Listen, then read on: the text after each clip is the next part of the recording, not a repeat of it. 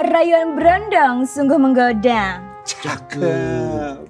Rayuan duda sungguh bikin gelisah.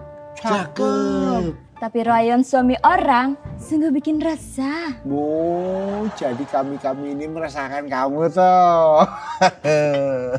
Bukan meresahkan, tapi mendesah.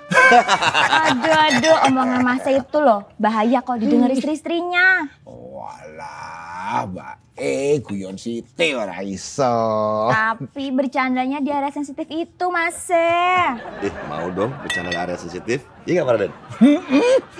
Hmm, dasar Edian, wong kok pikirannya ngeres melulu. Eh, bukan ngeres, ngeras. Wih, Pak Raden, Pak Doni, kayaknya lagi happy nih, ketawa terus. Halo Mbak Yu. Halo. Bagus. Minum jamu. Enggak, minum racun. Oh, yuk racun satu. Siap. Enggak lah, minum jamu, masa racun. Bagus mah sekarang kayak tespek. Nah, Eh, spek. Sensitif. enggak lah Pak Doni, saya juga tadi bercanda. Nih, kalian minum jamu apa? Pakai kerokan segala lagi. Jamu kuat dong. Emangnya kalian udah dikasih jatah sama istri-istrinya? Jamu kuat menghadapi dinginnya malam. Pantes kerokan.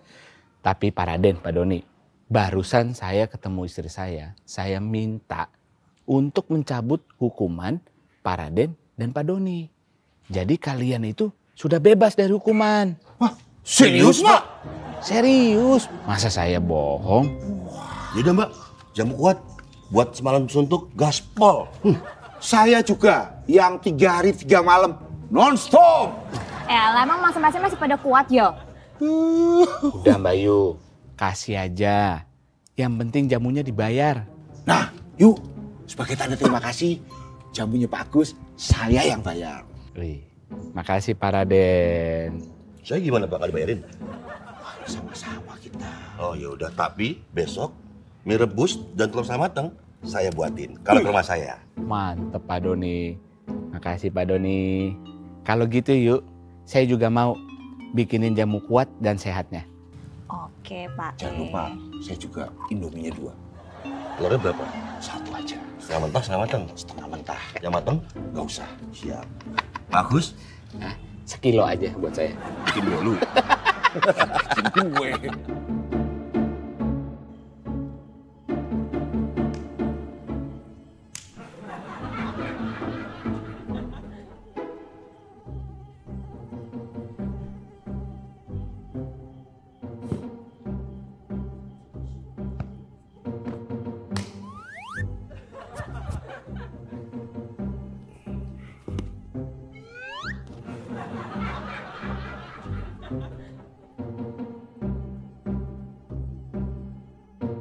Bagus. Bagus. Woi, Bagus. Pak. Pak, ono yang penting ki, Pak. Pak. Bagus.